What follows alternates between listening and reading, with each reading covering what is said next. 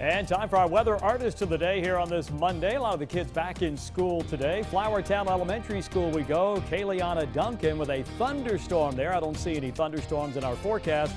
Maybe a few showers, brief showers tomorrow, but that's about it. Here comes the address if you want to send us your weather pictures. 210 West Coleman Boulevard in Mount Pleasant, 29464, our News 2 studios. Also, email those pics to weatherartist at counton2.com. Kayliana Duncan from Flowertown Elementary School, you're our weather artist of the day.